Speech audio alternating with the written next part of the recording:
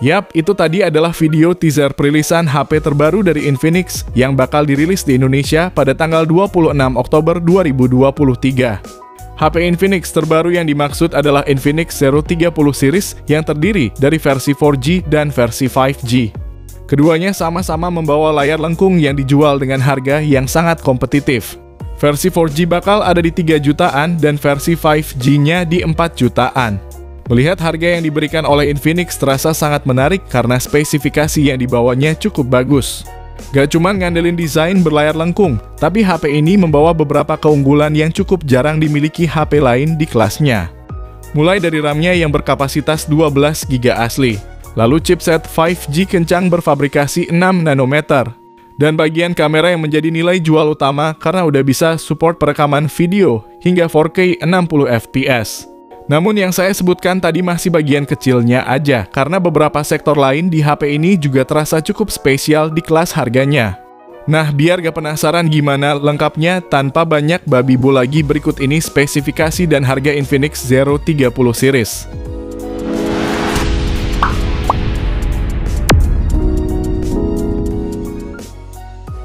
Belum lama ini Infinix merilis GT10 Pro sebagai HP gaming pertamanya di dunia. Bahkan berkat desainnya yang gaming banget dan spesifikasinya yang bagus, HP tersebut cukup banyak mendapatkan peminat. Kali ini Infinix mencoba peruntungan lain lewat Infinix Zero 30 yang difokuskan ke bagian fotografinya. Jadi dari desainnya pun dibuat seperti HP pada umumnya namun tetap membawa ciri khasnya masing-masing. Terutama untuk yang varian 5G ini mengingatkan kepada HP Infinix termahal yang ada di Indonesia, yakni Infinix Zero Ultra. Tampil bodi belakang bermodul kamera kotak dan di bagian depannya berlayar lengkung sehingga menimbulkan kesan premium. Sedangkan untuk yang versi 4G-nya ini terdapat sedikit perbedaan di bagian modul kamera belakangnya aja. Sementara untuk material bahan yang digunakan untuk yang warna emas dan ungu terbuat dari bahan kaca, sedangkan warna hijaunya pakai bahan vegan leather atau kulit sintetis. Kedua varian warna tersebut punya kesan yang cukup premium meskipun framenya masih terbuat dari plastik polikarbonat. Meski terlihat besar dan bongsor, tapi dimensi HP ini punya tebal cuma 7,9 mm dan bobotnya pun cuma 185 gram. Jadi masih tergolong HP yang tipis dan ringan meskipun layarnya lebar. Lalu untuk segi keamanannya sendiri Infinix tahu banget kalau konsumen itu kesusahan cari tempered glass untuk layar lengkung. Maka dari itu sebagai keamanan layarnya ini udah pakai Gorilla Glass 5. Begitu juga dengan panel belakang yang pakai kaca. Ditambah bodi HP ini juga udah disertifikasi IP53, sehingga bisa diartikan kalau HP ini udah tahan debu dan percikan air. Sekarang kita pindah ke bagian layarnya. Infinix Zero 30 pakai layar lengkung seluas 6,78 inci, panelnya AMOLED dengan resolusi Full HD+, dan refresh rate tinggi 144 Hz. Ini tentu menarik mengingat HP kelas menengah biasanya paling tinggi itu 120 Hz, tapi Infinix kembali membuat gebrakan dengan menghadirkan refresh rate layar yang sedikit lebih tinggi lagi. Hal ini juga menjadikan Zero 30 5G sebagai HP dengan refresh rate 144 Hz termurah untuk saat ini. Selain itu, untuk kecerahannya pun mencapai 950 nits, sehingga masih bisa terlihat walaupun di bawah sinar matahari langsung.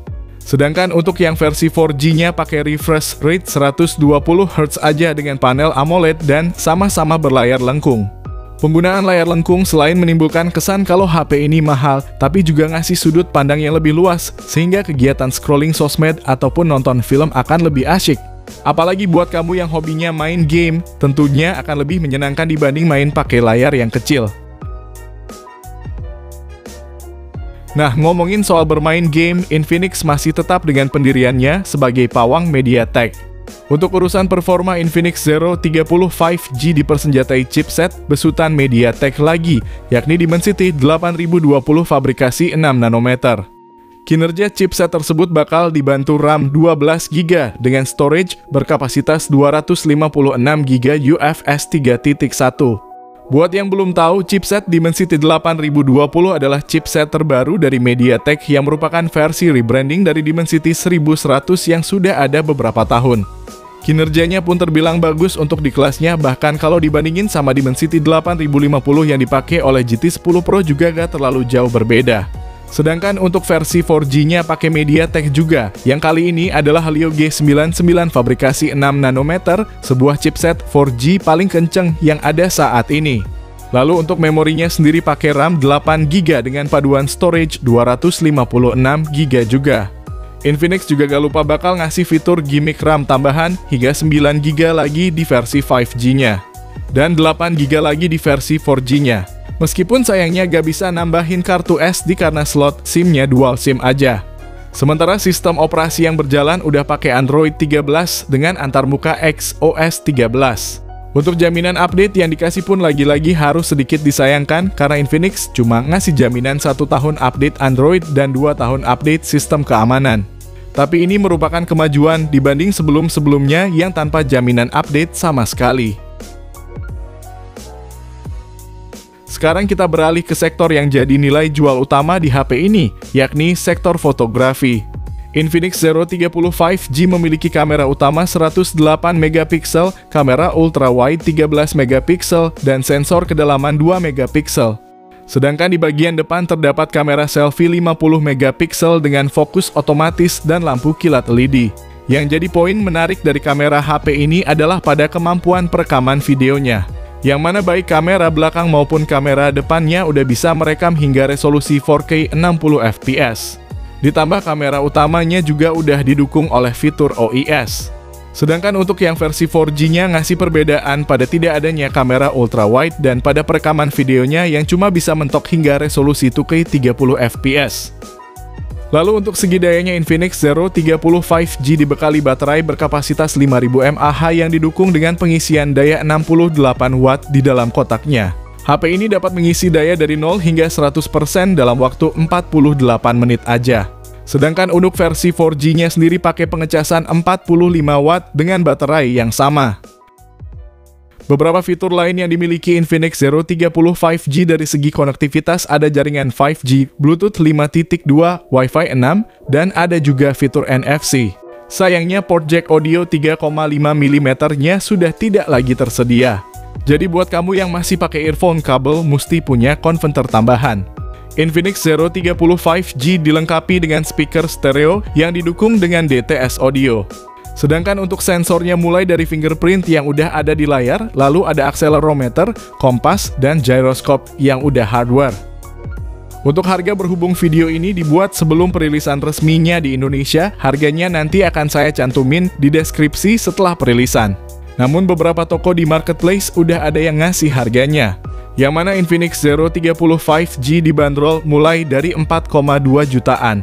Dan untuk versi 4G-nya dibanderol mulai dari 3,1 jutaan. Dengan harga segitu, apa yang diberikan oleh Infinix di kedua HP tersebut, terutama yang 5G udah terbilang sangat menarik. Buat kamu yang tertarik bisa banget beli nanti pada tanggal 27 Oktober di toko official milik Infinix-nya aja dan link pembelian akan saya cantumin di kolom deskripsi. Kamu bisa subscribe channel ini supaya gak ketinggalan info terbarunya dan jangan lupa aktifin juga lonceng notifikasinya. Gimana nih, apakah kamu tertarik dengan Infinix Zero 30 series?